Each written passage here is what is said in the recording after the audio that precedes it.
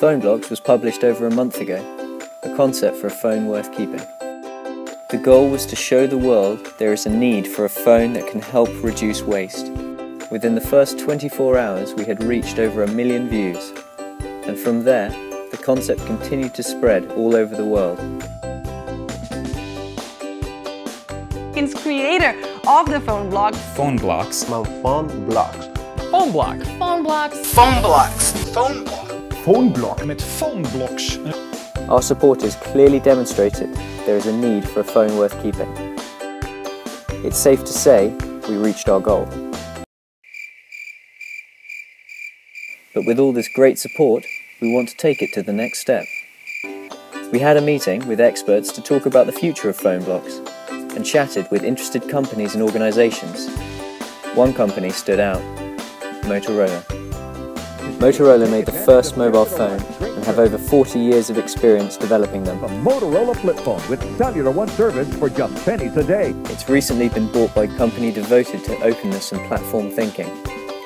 It turns out Motorola's advanced technology and projects innovation team has been working in-house for over a year on a modular phone concept called Project Ara. They seemed like a good fit, so we went there to have a closer look. Silicon Valley.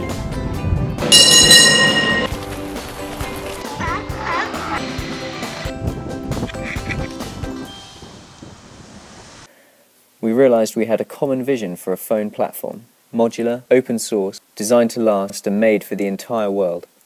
Usually, companies develop new products behind closed doors and only show them to the world when they're finished. Motorola has committed to developing their modular phone in the open. They will be listening to the Phonebloks community, our suggestions, ideas, and what we want from a new kind of phone. Working together from an early stage requires an online place to share all our thoughts and experiences, a place where we can talk openly about the product's development. We would love to build that place. While Motorola and Phonebloks will be working together, we also want to be independent and not rely on their funding. So if you'd like to help us, we would welcome your donations. Every penny we raise is being used to keep the PhoneBlock servers running and build our online community. And for the developers out there, Motorola will soon be releasing a modular developers kit so that companies, startups and developers can begin prototyping blocks. In the end, we hope to bring you the ultimate phone platform. Please visit phonebloks.com to show your support. Phonebloks community, Motorola engineers, making stuff.